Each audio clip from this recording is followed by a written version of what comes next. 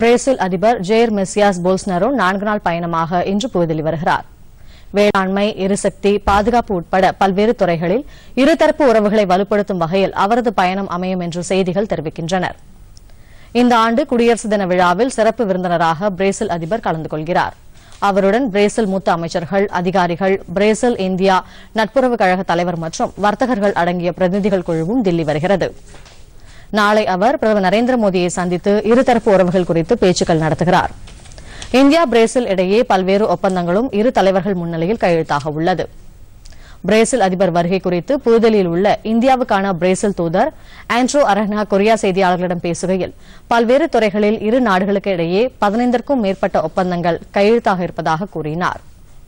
கேந்திர முக்கியத்துவம் வாய்ந்த உடன்படிக்கையை மேற்கொள்வது தொடர்பாக இரு நாடுகளும் விவாதிக்க உள்ளதாகவும் அவர் தெரிவித்தார். இதற்காக இந்தியா பிரேசில் செயல் திட்டத்தை பிரதமரும் பிரேசில் அதிபரும் தொடங்கி வைப்பார்கள் என்றும் அவர் கூறினார். அதிபருடன் வருகை தரும் என்பதற்கும் மேற்பட்ட வர்த்தக பிரதிநிதிகள் இந்தியாவில் உள்ள வர்த்தகர்களுடன் முக்கியமான பேச்சுக்கள் நடத்தவிருப்பதாகவும் இந்த பேச்சுக்கள் எரிசக்தி வேளாண்மை பாதுகாப்பு தளவாட உற்பத்தி ஆகியவற்றை நோக்கமாக கொண்டிருக்கும் என்றும் அவர் மேலும் கூறினார். நாளை மறுநாள் குடியரசுத் தலைவருடன் குடியரசின் அணிவகுப்பை பிரேசில் அதிபர் பார்வையிட உள்ளார் பின்னர் குடியரசுத் தலைவர் மாளிகையில் நடைபெறும் விருந்திலும் அவர் கலந்து கொள்கிறார்.